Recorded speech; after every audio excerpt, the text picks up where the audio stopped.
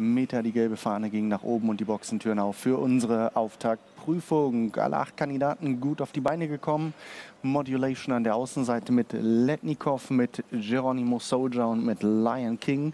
Direkt um eine gute Position bemüht, dann Ascension, dann sehen wir Memnon an der Außenseite vor Modulation und äh, dann ist es Never and Ever mit äh, Monte Cristo.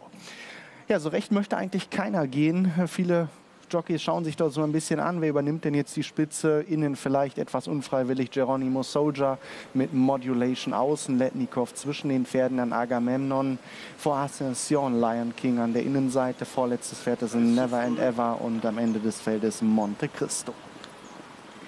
Mit Beginn des äh, Schlussbogens hat sich also Modulation an der Spitze durchgesetzt, führt mit zwei Längen vor Geronimo Soldier, Letnikov dahinter in dritter Position. Da muss Lukas Delosier sich schon mal ein bisschen bemühen, hier den Schützling von Milcho Minchev bei Laune zu halten. Lion King, dann ist es Agamemnon, auch der lässt sich bereits anfassen. Dann ist es Ascension mit Never and Ever und dann Monte Cristo. Vorne marschiert Modulation und zwar mittlerweile mit drei, mit vier Längen Vorteil für Bojan Mosabayev, dann Geronimo Soldier, Letnikov in der der Bahnmitte, dann Lion King innen läuft ein tolles Rennen und außen dann Agamemnon, aber Modulation marschiert weiter, 200 Meter vor der Linie, 250 Meter vor der Linie, Modulation vor Letnikov in der Bahnmitte, dann Geronimo Soldier und innen Lion King, dann erst Agamemnon, Modulation lebt von ihrem Vorteil und den bringt sie auch nach Hause, Champion-like zum Auftakt hier, Bojan Mosabayev mit Modulation gewinnt völlig souverän gegen Letnikov, gegen Lion King, Geronimo Soldier, dann erst Agamemnon, Fort Never and Ever, Monte Cristo und As Ascension.